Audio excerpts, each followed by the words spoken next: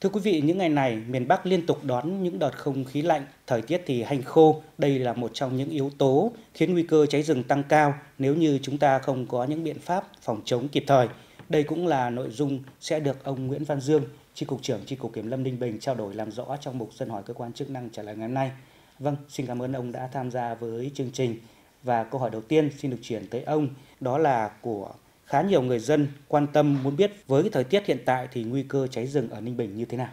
Vâng, theo uh, Trung tâm Dự báo Khí tượng Thủy văn và trong cái thời tiết uh, hiện tại thì quý vị uh, và các ông chí biết là hiện nay thì địa bàn tỉnh Ninh Bình là một trong những địa bàn mà uh, rừng trên núi đá. Yeah. Dạ. Thế và cái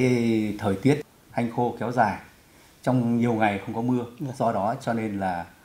cái dự báo cháy rừng là ở cấp cao đấy, từ cấp 3 cho đến cấp 5 vâng. đấy, mà các cái địa bàn trên địa bàn tỉnh thì rừng trên núi đá rồi các cái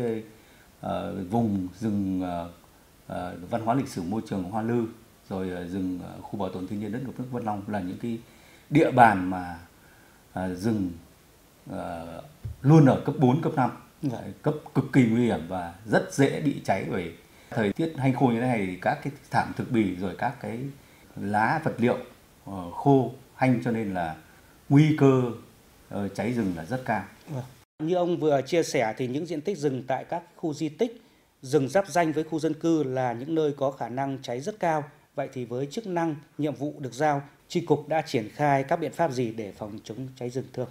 À, với cái trách nhiệm tham mưu cho tỉnh, cho sở về cái công tác quản lý bảo vệ rừng trên địa bàn toàn tỉnh, thì chúng tôi đã chỉ đạo các đơn vị trực thuộc là chỉ đạo các ban chỉ huy phòng cháy chữa cháy rừng của cấp uh, xã và cấp uh, huyện để thực hiện cái, công tác phòng cháy chữa cháy rừng. Và các cái lực lượng phương tiện thì luôn sẵn sàng ở cấp cao để chuẩn bị huy động lực lượng phương tiện. Khi mà có cháy rừng xảy ra thì chúng ta thực hiện được cái theo cái phương châm bốn tại chỗ dạ. thực hiện cái, cái cái phòng cháy chữa cháy rừng và hạn chế thấp nhất cái thiệt hại. Và mùa này thì trong những cái mùa này là cái mùa mà có cái nguy cơ cháy cao bởi dân người dân thì thường là xử lý thực bì rồi sử dụng lửa rồi du khách thì sử dụng lửa bất cẩn cho nên dễ xảy ra cháy rừng. À, vâng ạ, năng lực phòng chống cháy rừng cũng là vấn đề đang được nhiều người dân quan tâm, đặc biệt là những người dân ở những nơi có rừng vì thực tế đã xảy ra những cái vụ cháy rừng à, và cái việc dập lửa thì gặp rất nhiều khó khăn do địa hình thì phức tạp, xa nguồn nước, thiếu trang thiết bị. À, vậy trong năm nay tỉnh đã có sự quan tâm đầu tư như thế nào để có thể là nâng cao cái năng lực hạn chế thấp nhất những thiệt hại do cháy rừng gây ra thưa ông? Năm 2022 thì chúng tôi đã tham mưu cho tỉnh để thực hiện cái kế hoạch ờ, quản lý rừng bền vững trong ờ, trên địa bàn tỉnh. Thế và trong đó thì tỉnh có phê duyệt cái cái cái ờ, kinh phí để uh, thực hiện cái phương án phòng cháy chữa cháy rừng. Trong đó thì có các cái mua trang thiết bị phương tiện uh, để cung cấp cho các cái tổ đội quân chúng rồi các cái ban chỉ huy phòng cháy cháy rừng các địa phương để thực hiện cái phương án phòng cháy chữa cháy rừng trên địa bàn tỉnh. À, và à, có cái công tác tuyên truyền. Trong đó thì cấp kinh phí để tổ chức các cuộc diễn tập phòng cháy chữa cháy rừng của cấp xã. Để năm 2022 à, đã tổ chức được 6 cuộc diễn tập cấp xã ở trên địa bàn Tam Điệp, Nho Quan và Hoa Lư. Đấy thì cái cái này là một trong những cái để tăng cường cái công tác tuyên truyền cũng nâng cao ý thức của người dân để thực hiện cái cái, cái công tác phòng cháy chữa cháy rừng và cũng yêu cầu các cái lực lượng phương tiện là chuẩn bị sẵn sàng trong cái tình huống mà cháy rừng xảy ra thì chữa cháy rừng theo cái phương à, châm bốn tại chỗ và hạn chế thấp nhất cái thiệt hại do cháy rừng gây ra.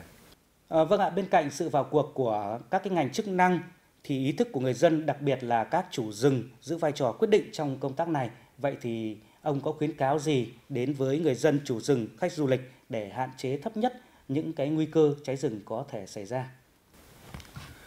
Mùa hanh khô là một trong những mùa mà cháy rất là nguy hiểm. Đấy, do đó cho nên là chúng tôi cũng uh, khuyến cáo người dân, uh, các cái chủ rừng, rồi các cái uh, đối với lực lượng kiểm lâm thì tham mưu cho xã uh, huy động lực lượng phương tiện theo phương châm bốn tại chỗ hạn chế thấp nhất cái thiệt hại cho cháy gây ra đối với người dân đối với chủ rừng ấy, thì yêu cầu là phải thực hiện theo cái quy định là phải thực hiện cái phương án phòng cháy cháy rừng của chủ rừng theo cái luật lâm nghiệp quy định. Và đối với người dân thì ờ, chúng tôi khuyến cáo là trong cái ờ, xử lý thực bì rồi ờ, đốt nương làm rẫy và trong cái thời tiết hanh khô như thế này thì không được sử dụng lửa. Và đối với các đặc biệt là các trẻ em đi chăn trâu đi vào rừng ấy, thì không được sử dụng lửa để sưởi và du khách thì không được đốt lửa trại rồi là hút thuốc lá rồi gây ra cái cháy rừng. À, vâng ạ, một lần nữa thì uh, xin cảm ơn ông à, Nguyễn Văn Dương, tri cục trưởng tri cục kiểm lâm Ninh Bình đã tham gia với chương trình và trao đổi làm rõ được nhiều cái vấn đề mà người dân cũng như là chủ rừng quan tâm liên quan đến công tác phòng chống cháy rừng trong mùa hành khô. Cảm ơn sự quan tâm theo dõi của quý vị và tiếp theo sẽ là những thông tin đáng chú ý khác của chương trình thời sự.